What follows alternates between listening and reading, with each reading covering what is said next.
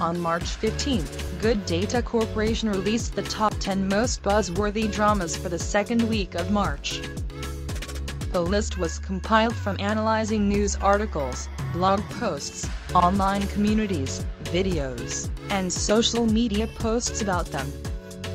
25, 21 once again took the top spot, followed by A Business Proposal and Young Lady and Gentleman in the top three.